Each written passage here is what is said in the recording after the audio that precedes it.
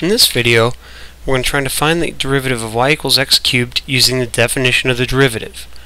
Now this is the definition of the derivative. dy dx equals the limit as h goes to 0 of f of x plus h minus f of x over h. In our case, f of x is x cubed. So just another way of denoting our function. So the big first step is to get this thing set up correctly. So you must understand function notation. f of x plus h is our function with x plus h input. So x plus h, the quantity cubed. f of x is just x cubed all over h. Now let's go ahead and over here let's multiply this guy out. x plus h the quantity cubed. Now if you know Pascal's triangle or the binomial theorem you could use that as well. But for practice let's go ahead and multiply it all out and see what we get. So there's what x plus h cubed means. So we'll start by multiplying a couple of them together. Let's leave this first one alone. And now let's FOIL these two. x times x is x squared h times h is h squared. Now we've got an xh and an xh. So in between here we got a plus 2xh. Now, let's distribute this x.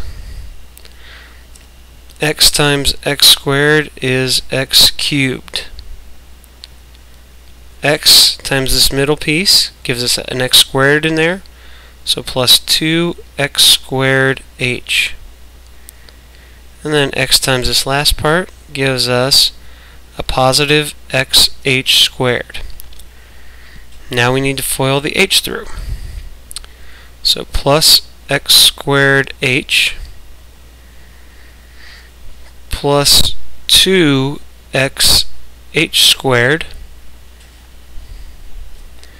and then finally a plus h cubed. So that's one way of doing multiplication of these kind of binomials. Now we combine like terms. We only have the one x cubed term. Now x squared h, I've got a term here. I've also got one here.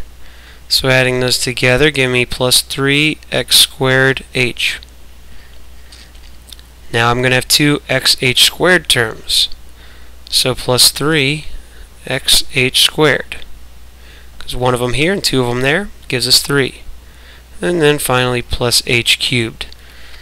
So there's our simplification, or our, we should say our multiplying out over on that side.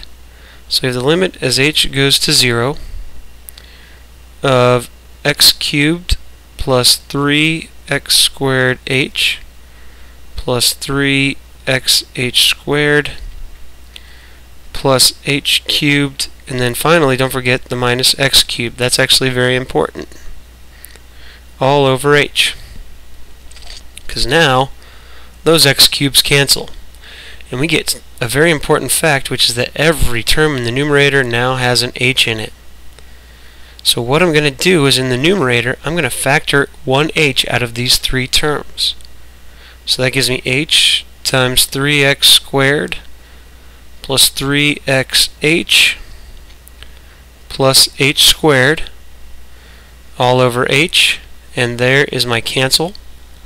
I now no longer have an h in the denominator so I can now plug in my h going to 0. I can plug in 0 for h. So this h is going to become a 0 and so is this h. So what I'm going to get is 3x squared plus 3x times 0 plus 0 squared or that my derivative is simply 3x squared. So dy dx or y prime depending on the notation you used is 3x squared which is the derivative of x cubed.